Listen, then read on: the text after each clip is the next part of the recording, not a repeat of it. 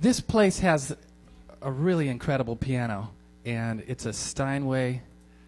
I think it's seven feet, and it's got all this decoration on it. And we've got a wonderful piano player, Rob Whitlock. So we're gonna, yeah.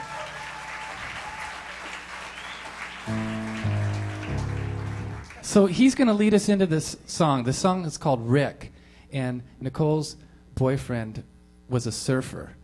Rob's going to lead us into this tune with a guy that has a jazz mind that th- is thinking about surfing.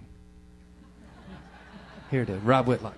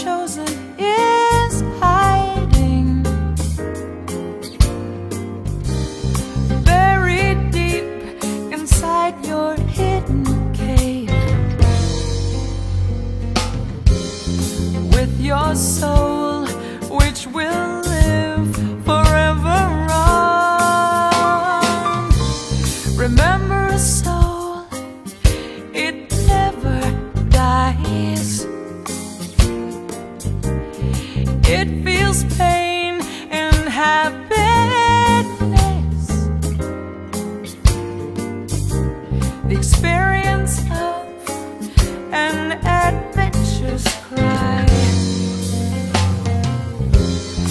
We shall learn.